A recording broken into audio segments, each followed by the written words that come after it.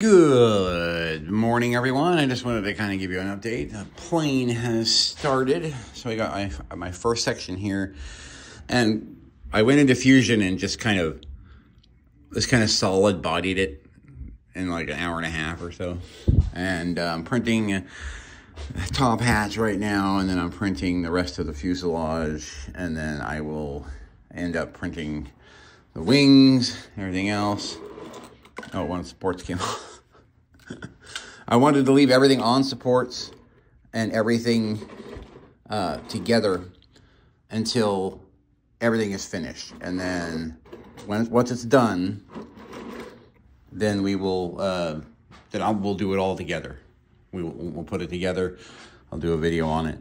And it's going to be for this, which I've designed another mount for with um, some arms on it so I can attach it to the inside. I'm going to get a brushless ESC, or a brushed ESC, I should say. And then uh, what we're going to do is we're going to we're going to do this together. I'm going to leave everything as much as I can on its supports because you know what happens when you pull it off the bed. Sometimes supports just fall off because the Bambu Lab's awesome.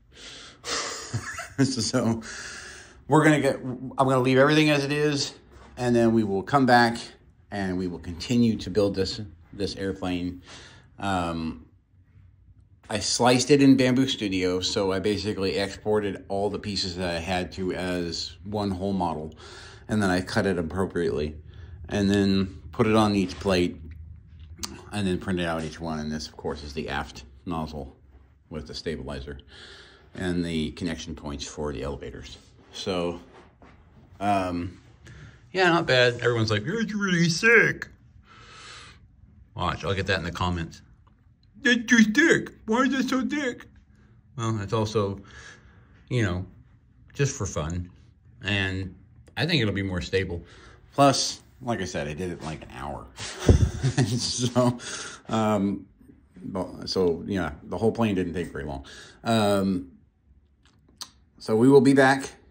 Uh, I will keep you updated on parts, and then we will do a live. Um, I still got to do an unboxing of that X1 Carbon over there on the table. Um, that's going to be live. I'm waiting for a camera.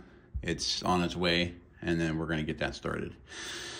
Uh, but other than that, I thought you'd all be interested in a new plane. So let's make a plane. Let's make a plane with a blower motor. Let's do that. That's going to be some serious fun. I don't know how this is going to go with a brushless ESC, but I bet it's going to go pretty quick. So, yeah, stay tuned for that one, huh?